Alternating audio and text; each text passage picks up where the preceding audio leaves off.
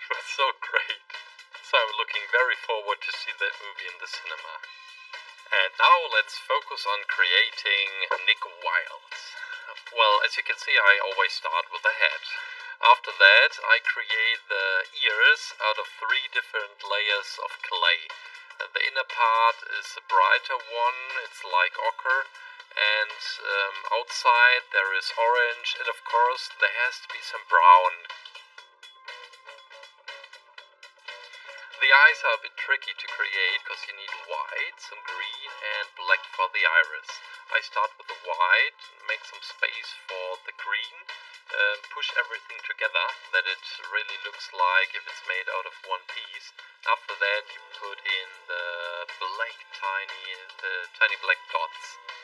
And I also added, um, you may have noticed it, some white for the shining in the eye. After that, focus on the eyelids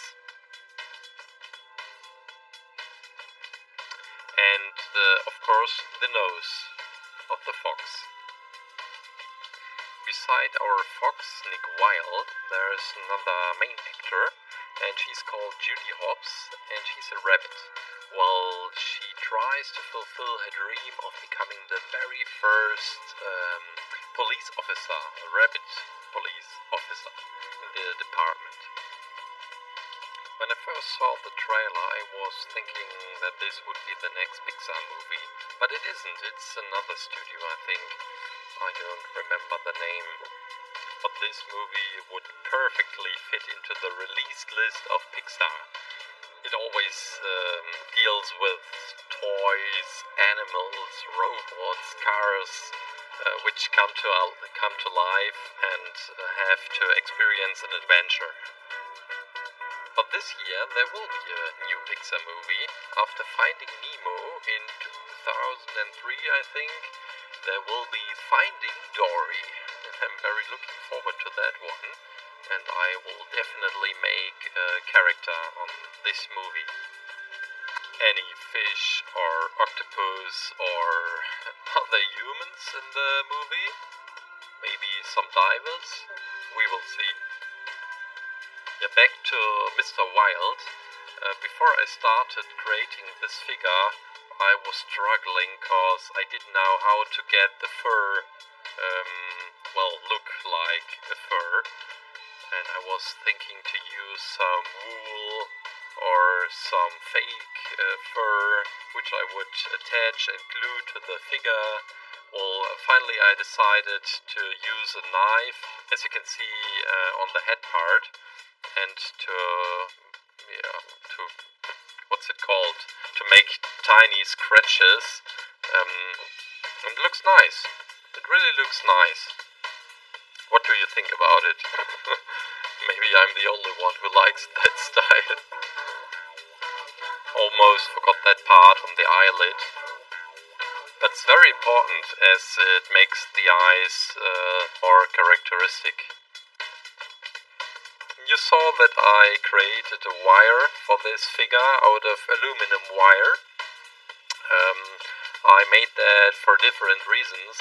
The main reason is that there is um, the fox tail and it is very heavy for a good stand. The minifigure needs to have a skeleton. Sometimes when creating it's like meditation, you don't realize um, some important parts like that these trousers are very light grey but the original figure has a very dark grey um, trousers, so maybe you should mix that with, a bit of black. When I looked at some pictures of Nick Wilde, I recognized there is a pattern on the shirt, some kind of uh, design, uh, Hawaii design style, um, but I ignored that because uh, it would have been too complicated. But instead, I'm creating some nice buttons. The sad part is that you won't see them as the tie is laying right over them. yeah, back to focus. We are creating the arms. Uh, orange and brown are mixed to get that nice look. And uh, after that, you put inside the aluminum wire to get a yeah, nice gesture. Uh, the fingers are created as I show you. Just use the knife for that. Make sure to round the, the block um, fingers.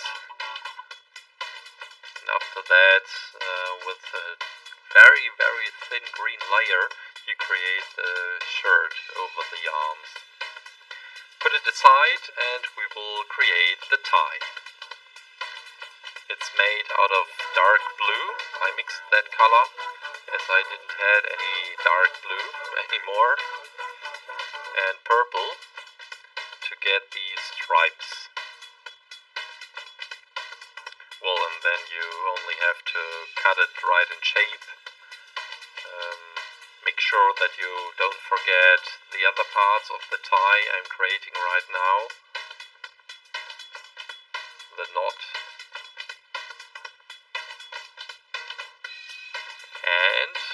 the nails. Later we will definitely put some polish on them. And creating more furry fur.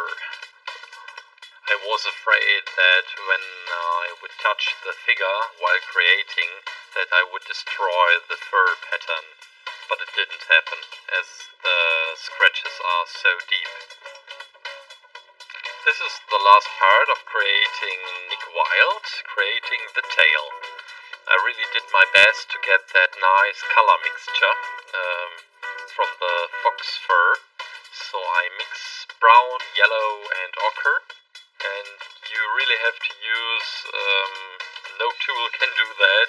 You have to use your finger and and wipe over the different colors to mix them and then you get that nice uh, uh, kind of structure and pattern inside.